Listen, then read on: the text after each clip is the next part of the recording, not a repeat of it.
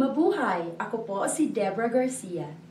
Hi, I'm Deborah Garcia, and welcome back to another lesson where you will learn practical Filipino language in just few minutes. This is brought to us by NAC TV, the local TV channel here in Neepawa, Manitoba. We really love to hear your thoughts about our lessons, guys. So please leave your comments and suggestions below, or you can go ahead and send them directly to nactv at wcgwave.ca. Also, please click that subscribe button below, and please don't forget to like and share this video. Our lesson for today is about self-introduction and then we are going to learn a lot of vocabulary words for jobs or professions and nationalities.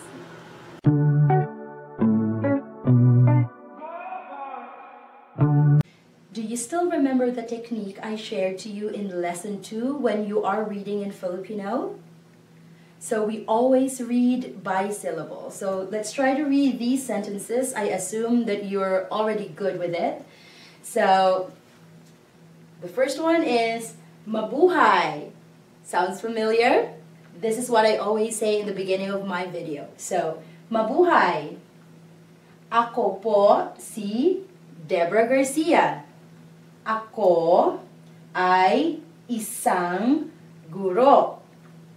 Ako ay nakatira sa Nipua, Manitoba. Ako po ay isang Pilipino. Ang aking wika o salita ay Filipino. Let us take these sentences one at a time. So we'll start with the first one. Mabuhay. Mabuhay with an exclamation point. It means welcome or hi, hello. So in the Philippines, we only use this word, mabuhay, in formal gatherings, especially when there are foreign guests and we want to introduce our language to them. So instead of saying hi or hello, we say mabuhay. But you don't use that when you meet your friends, for example, because in the Philippines, the the uh, regular or the most popular expression when you are greeting your friends is the hi or hello, not the mabuhay. Okay? Second, ako po si Deborah Garcia. I have my name here, so you'll have a clue what I'm talking about. It says ako. Ako is I in English. So the pronoun I is ako. Si I discussed this word in lesson 2. Si is a personal topic maker. It is used to introduce a name of a person. But in this sentence, so I think in lesson 2, I said si nanay ay mabusisi. Si there is just the personal topic maker. But in this sentence, this word si is already being used as an auxiliary verb, am. So, ako po, si Deborah Garcia. I am Deborah Garcia. So, it becomes an am here. Now, this word, po, we use this word when we want to be polite. So, po and opo. It's just an expression of being polite. So, ako po, si Deborah Garcia, you would use po when you are talking to someone you're not familiar with, like a stranger, or when you're talking to a professional, or when you are talking to someone who is older than you, you would always want to be polite. So you will add this word po. Opo is yes, actually. The original word for this is oo. When we say yes, we say oo. But as I said, when you are talking to someone older than you or a professional, or someone you're not familiar with, then you will use opo instead of oo when you want to say yes. The third one, ako ay isang guro. Ako again means I, the personal the personal pronoun I, and then this word I. In lesson 2, I discussed this one. I said I means is or are. It's an auxiliary verb, right? So it means I. You can't use is or are when you translate this in English because your subject is I. then I here will become am. So I am, so is, are, am, are the same in Filipino. It's the word I. Ako ay isang. Isa means one. In the literal translation, so isang guro. I am a. Isa means one, so it is an article, a. I am a, and then guro means teacher. So let's take a look at some of the professions that have Filipino translation. So if guro is a teacher, I hope you can read these because we did a lot of reading in lessons 1 and 2. I hope you can read this, uh, read these with me. So guro, teacher. This one, sundalo. Sundalo means soldier. This one, Ingeniero. Ingeniero. It's not a popular term in the Philippines though, but I included this so that you would know that ingeniero is the Filipino version of engineer. So it is an engineer. In the Philippines, we don't use this word. We use engineer. Oh, we don't use ingeniero. This one, ma-ngi-ngisda. Mangingisda. Isda means fish. So if you are a mangingisda, then you are a fisherman. Next, bombero. Bombero means fireman. Okay? This one. Can you read this? It's actually the same word as in English, but we use the Filipino spelling. Doctor. Doctor is a doctor. And this one too. Nurse. We also use this spelling. It's very popular. So we use this spelling. But when we pronounce it, then we say nurse, not nurse. Okay? So, this one, carpentero. Carpentero. Carpentero means carpenter. Same with the English word, right? Sounds the same. Carpentero. Police. Do you know this one? Yes, it's police. So, police, we spell it this way. Magsasaka. Magsasaka means farmer. This one, can you read this? It's a, there's a, there are two consonants here. It's T and S, it's and then U, it's two. It sounds like CH, CH, but this one, we spell it as T and S instead of C and H. Tsuper. Tsuper means driver. This term is always being used for jeepney drivers. You know, jeep or jeepney is the most popular means of transportation, public transportation in the Philippines. So we have tsuper only for jeepney drivers because if we refer to the bus drivers, we say bus drivers or taxi drivers. Tsuper is just being used for jeepney drivers only. Oh, by the way, I forgot. When we have the tsuper for the jeepney drivers, they always go with this one. Can you read this? Conductor. It's like conductor, but we spell it conductor. The tsuper is the one driving the jeepney and the conductor is the one collecting the fare. And they always don't sit inside the jeepney because they want to, to save the seats for the passengers. So the conductor would always be hanging at the entrance of the jeepney. So we call them conductor. Okay, this one. Can you read this? Secretaria. Secretaria. Does it sound like a secretary? Secretaria. Secret. Here, right? We only use this term if you are an office secretary, a clerk, something like that. So secretaria. But if you mean secretary for an organization, for example, uh, Department of Health, then we don't call them secretaria for the secretary. We call them Kalihim. Kalihim. Lihim in Filipino means secret. So we call them kalihim for the secretary of an organization. Secretaria here is just the clerical job. Okay? Next one. Abogado. Abogado. Abogado is a lawyer. Pari is a priest. The nuns, madre.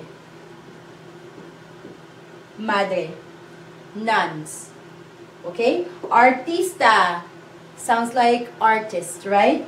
But in the Philippines, we only mean, when we say artista, we only mean actors or actresses. Artista.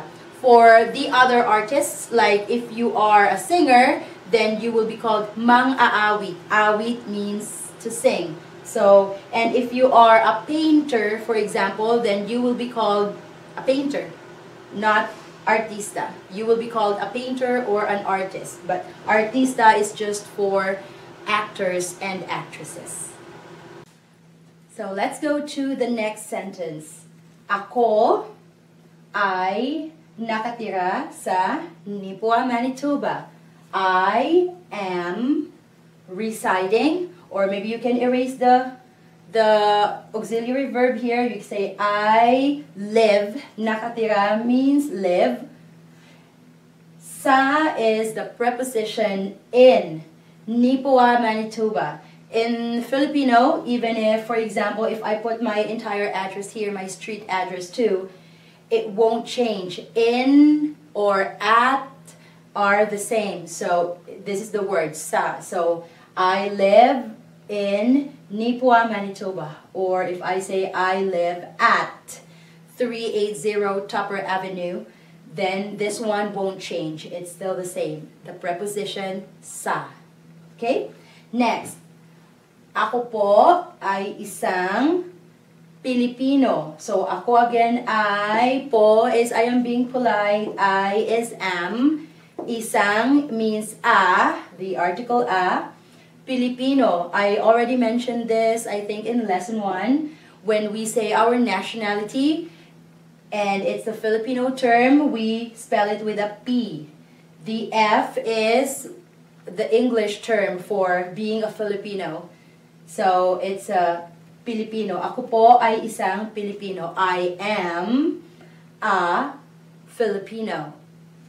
The last one. Ang aking wika o salita ay Filipino.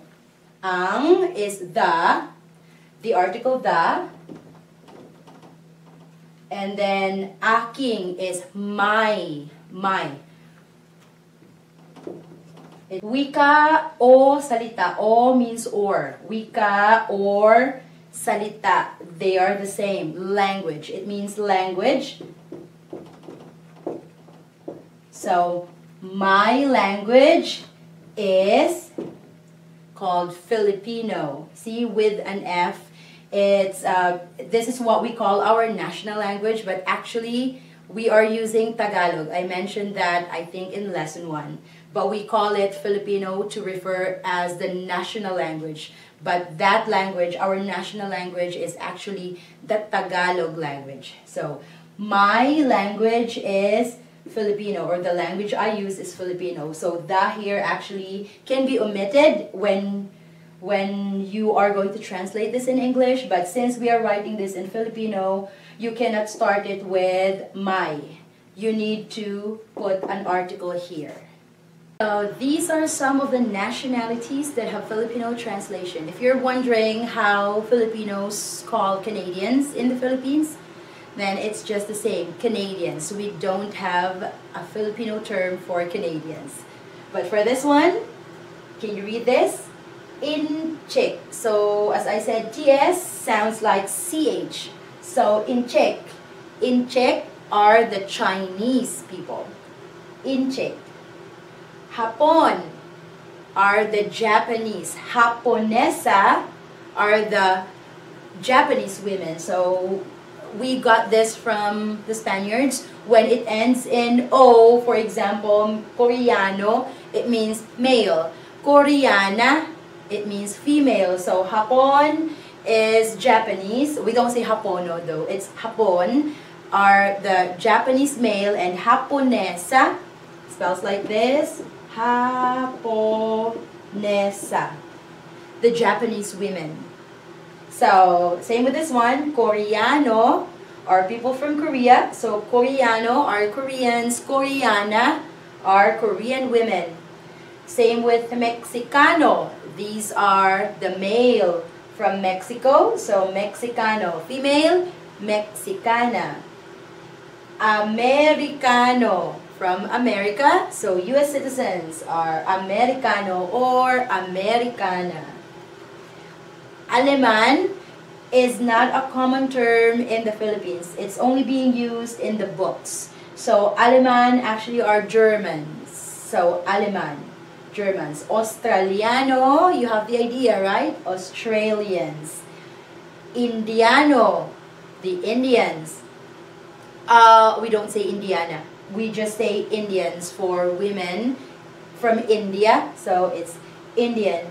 Um, also, the very popular term in the Philippines for Indians from India are uh, they we call them the Bombay. Actually, I think it's a misconception. So, Bombay is actually from the very popular place in India, which is Mumbai, right?